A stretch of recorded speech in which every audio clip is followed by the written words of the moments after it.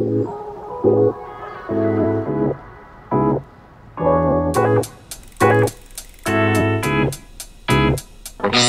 Chris Odell. I'm Chief Technology Officer at Mike's Bikes. I'm responsible for pretty much any piece of equipment that connects to the internet or is involved in the customer transaction experience.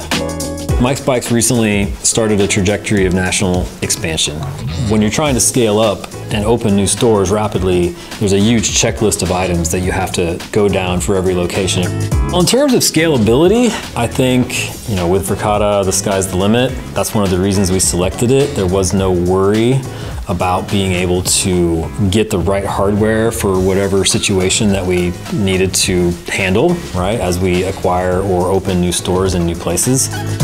Well, I was approached by Verkada's product team, I also really quickly realized that having all the data for our point of sale system available within Command was going to be really popular with the rest of the management team. So I saw an opportunity to have fun implementing a new and exciting product and get a lot of value out of it in the end. And I think during that conversation, at one point it did come up, is there a way to get our point of sale data into the product so that later on it becomes really simple to find the transaction we're looking for. And at that time, there wasn't that opportunity, but now obviously there is. And that's one of the reasons I was so happy to be part of getting Helix to market.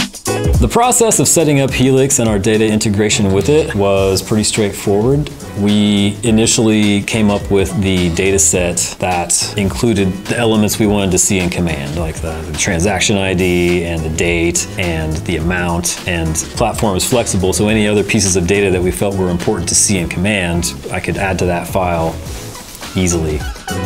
Well, right now, uh, we have two primary use cases for Helix. The first one is the ability to quickly find a potentially fraudulent transaction. Every once in a while, where someone buys something expensive at one of our stores, and then later they call their credit card company and try to say that they didn't do it.